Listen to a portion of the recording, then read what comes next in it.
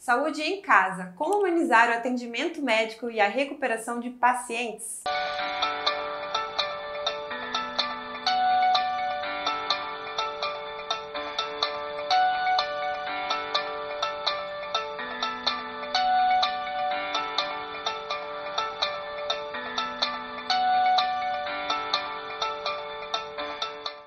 Falar sobre home care, atendimento personalizado para as residências, hoje vamos conversar com a enfermeira intensivista e CEO da empresa Gestão Integrada de Saúde, Gislaine Alves. Muito obrigada, Gislaine. Tudo bom, Miriam? Então, eu queria agradecer a Condomite, né, por essa oportunidade de estar explorando e falando um pouco mais do nosso trabalho, o que, que a gente desenvolve, o que, que a gente vai trazer para esses pacientes na nossa região. A gente já atende em Florianópolis, São Paulo, no Alto Vale, a gente está em crescimento. E vamos expandir para Balneário, com certeza. É, falar de saúde, ainda mais nesse momento tão delicado, né, tão importante.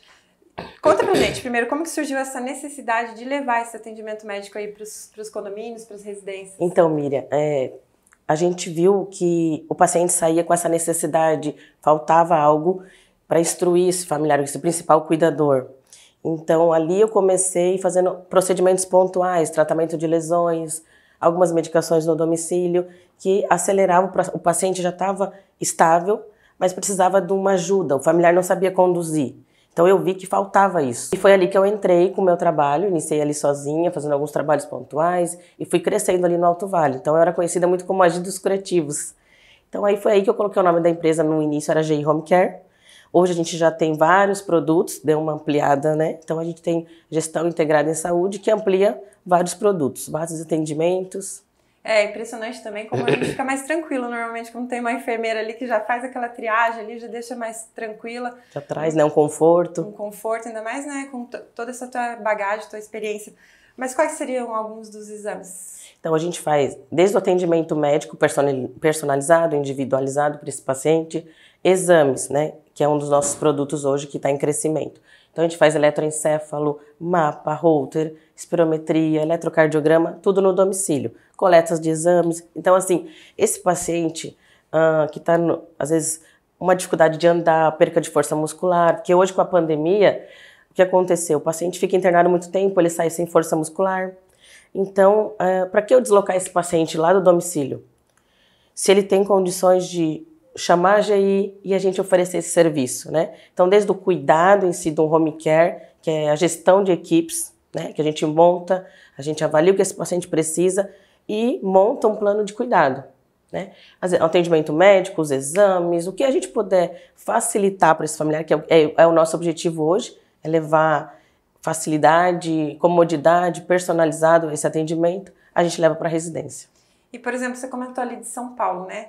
Lá é mais comum, aqui ainda está crescendo isso? Então, é, lá é intrínseco isso, né? Os médicos já vão se organizando, se o paciente está estável clinicamente, é, falta algum tempo de antibiótico, sete dias, dez dias, cinco dias, esse paciente vai para a residência, né, com uma empresa de cuidado domiciliar, que é o que a gente faz hoje aqui no Alto Vale, no Sul, e traz toda essa, né, essa facilidade de atendimento, se precisa de uma gestão de equipes, se só antibiótico terapia, se é só o tratamento da lesão. Então, já está intrínseco lá. A gente tem que trazer essa realidade para nós aqui no Alto Vale e no Sul. Mas tem uma equipe já que você já está formada? Pra, então, no Alto Vale a gente já tem uma equipe forte, em Floripa também. A gente quer formalizar uma equipe aqui também para é, oferecer essa gama de produtos. O nosso paciente hoje, ele é um paciente que ele não quer se expor. Né? Ele quer um atendimento VIP, ele quer detalhado, como é que eu vou fazer aquela consulta pro, com o neuro, eu vou ver, ah, precisa de um neuro, então a gente tem um neuro na nossa equipe, um neurologista, tem um geriatra, temos fisioterapeuta, nutricionista, fono, então a gente vai formando um, um ecossistema que vai ajudar esse paciente e é, não vai trazer, a gente quer tirar esse trabalho do familiar, desse cuidador principal e trazer para a GI, que é o que a gente faz hoje. E tem alguma inovação também, Di? Então, a nossa inovação hoje, a gente está montando um aplicativo que vai estar tá dentro, vai estar tá constando tudo isso, o nosso serviço, né? Desde o prontuário do paciente, então ah, o nosso técnico ou o nosso cuidador está lá na residência. Ah, alterou a pressão, então a gente tem um trabalho meio que imediato. Colocou ali no aplicativo, a gente recebe um BOPAP, o médico responsável daquele paciente recebe e instantaneamente já toma uma conduta. Não vamos esperar marcar um atendimento médico para mexer na medicação, mexer em algum outro exame. a gente já toma conduta ali, então vai ser mais instantâneo. Então essa é a nossa proposta de inovação para o Alto Vale, em São Paulo, né? E conter, conter desde a solicitação de serviço, que é um dos nossos serviços, quanto a monitorização desse paciente, quanto solicitação de um exame. Então pediu, a gente organiza e realiza. E acaba que um aplicativo geralmente tem todo um histórico, né? Acaba tendo um histórico. Isso, vai constar, por exemplo, fez o exame, o laudo vai estar ali dentro já o médico consegue visualizar. O médico foi atender o, num congresso em Manaus. Ele recebe o resultado do laudo. Ah, não, está alterado. Vou tomar, já tomo uma conduta, entendeu? Então a gente facilita, porque hoje o tempo é muito escasso de qualquer um de nós, né? Tudo cronometrado, a nossa hora é muito cara. Então a gente está facilitando com a, com a inovação, inform, né? As, todas essas informações, esses exames, atuando muito mais rápido, né? E agilizando. É, assistência para esse paciente. Muito bom. E aqui, quando fala de serviços de deshospitalização, é, no caso, assim, um dos pontos principais que eu vejo, inclusive, essa questão de diminuir, aumentar, no caso, os leitos para os próximos pacientes. É isso. É isso a né? gente teve é, uma demanda muito grande durante a pandemia, a gente cresceu muito com esse serviço, porque os hospitais lotados, tinha, só ficava realmente pacientes que precisavam ficar internados, né, que oxigênio, uma dificuldade respiratória muito forte, comprometimento pulmonar, então, com a, como a GI oferece esse serviço, esse paciente ia para a residência, a gente continuava monitorando, né? Ah, alterou, aí entrava a parte da, né, do, do, atendimento médico. Então, ia ser mais instantâneo, diminuir os leitos, a ocupação, né? E isso pode se estender, porque hoje, pra, por que, que um paciente precisa ficar internado se ele pode estar sendo monitorado em casa? Né? Então, diminui leito, quem que gosta de ficar internado? Hoje a gente foi fazer uma pesquisa, de 100 pessoas, ninguém 98 ninguém quer saber. Então a gente diminui desse paciente ir lá fazer um exame, né, perder deslocamento, tempo, eu vou ter que né, ter todo um, um, um sistema para deslocar esse paciente. Às vezes tem perca de força muscular, é acamado, é um idoso, tem, tem que ter um cuidador, um outro para ajudar. Então a gente tira tudo isso e vai lá e realiza. Acaba que a, a, recuperação fica mais rápida. Mais né? rápida. Muito bom. E em relação também ao. São os idosos que normalmente mais precisam de atendimento? Então, isso foi um assunto que a gente levantou, que hoje não é. O nosso serviço não é necessariamente só para um idoso. Né?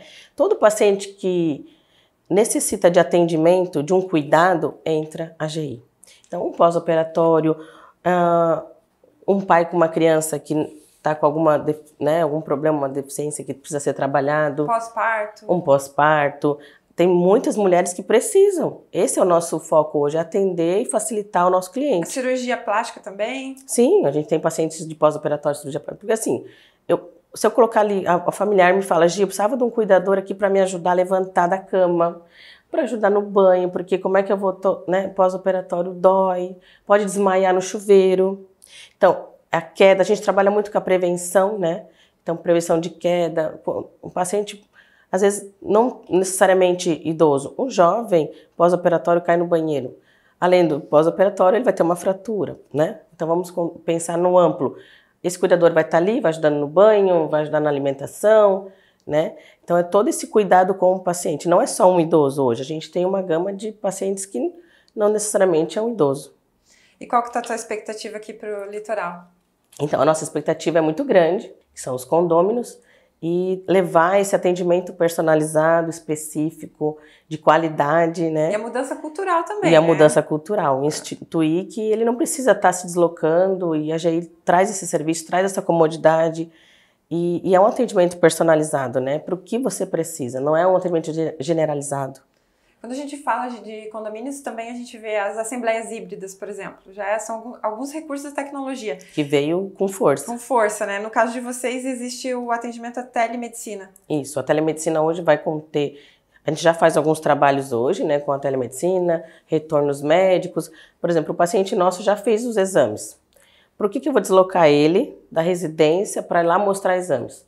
O meu médico vai, faz o atendimento, vê os exames, já toma conduta, já vê como é que ele está, dá um retorno. Então, é, a gente consegue facilitar com a telemedicina hoje, até, né, consulta médica é, por, por áudio, né, por videoconferência. Gislaine, conta um pouquinho também da sua especialidade como enfermeira.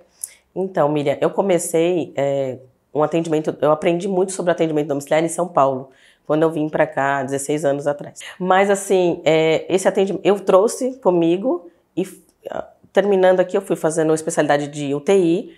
Hoje, não sou muito fã de trabalhar em UTI, gosto mais do atendimento com o paciente, com o familiar, é, resolutividade, entregar mais, né? Eu vi que eu podia entregar muito mais do que é, tá dentro de uma UTI, de um setor fechado, né? E, e daí eu vi que eu podia entregar muito mais. Então foi aí que eu fui para a parte de estomoterapia, que hoje eu estou terminando estomoterapia, por quê? Para atuar com pacientes ostomizados, pacientes com lesões crônicas, né, complexas que a gente fala. Então eu, eu vi que eu, uh, eu poderia trazer, tratar essa. Tem paciente que vem para mim com 10 anos de lesão, 15 anos, que a mãe, a filha nunca viu a mãe sem aquela lesão. E eu consigo tratar, resolver e ver que a qualidade de vida melhora. Esse paciente pode ir para um evento, esse paciente pode ir num restaurante, que ele não vai estar tá se incomodando com lesão, assim, vai estar, tá, ah, eu não vou sair porque tem curativo, tem odor e tal, tem uma ostomia, aquele melhor cuidado. Tem, hoje tem muitos equipamentos, materiais que esse paciente devolve qualidade de vida e resolve o problema dele mais rápido do que ficar é, 10, 15 anos aí com lesões e problemas que afetam até o emocional dele. Ele não sai de casa. Então, quando eu vi que eu consegui resolver e entregar mais resultado, aí eu, o meu foco foi para a parte de estomoterapia hoje. Gi, outra coisa também que a gente com certeza imagina, né, é a questão da pandemia que, que você percebeu, assim, o que, que mudou? Mudou na área, mudou em tudo no geral, né? Mas na área da medicina. Então, é, a gente conseguiu resolver muitos problemas, como eu falei. Hoje ninguém gosta de ficar internado. Então, quanto mais. É aí que a gente focou na deshospitalização. Quanto mais rápido esse meu paciente sair do meio onde tem bactérias, onde tem, pode ter infecção cruzada, é, vírus. Então, eu tiro esse paciente do meio e coloco ele de volta no lar, né, conforto da tua família, e termino antibiótico terapia, tratamento de lesão, o que dá para a gente resolver no domicílio, tirar ele mais rápido de uma internação, melhor. melhor. Então a gente devolve isso para o paciente, uma qualidade de vida melhor. Muito bom. E para finalizar, como que as pessoas podem entrar em contato para saber mais, para ter essa informação, né? Que com certeza, é, às vezes pode não estar tá precisando, mas conhece alguém que pode estar tá precisando. Isso, hoje, na verdade, o nosso